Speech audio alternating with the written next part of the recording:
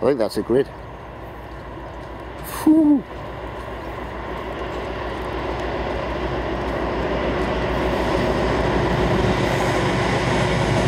It is 56